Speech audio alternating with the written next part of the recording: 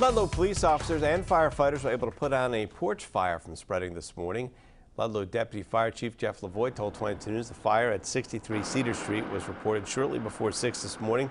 Police officers got there first, were able to put out most of the flames with fire extinguishers, and then firefighters were able to put out what remained. No one was hurt, and the residents were able to remain in their home. Chief Lavoy said that they're still looking into the cause, but it appears to be accidental.